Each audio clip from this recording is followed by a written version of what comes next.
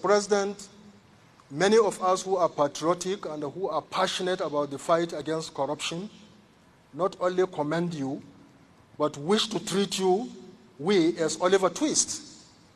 You know, the more you do, the more we want to be done.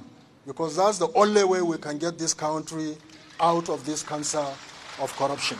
Some chairmen of committees in the National Assembly have become notorious on this issue of recklessly with impunity demanding for bribes.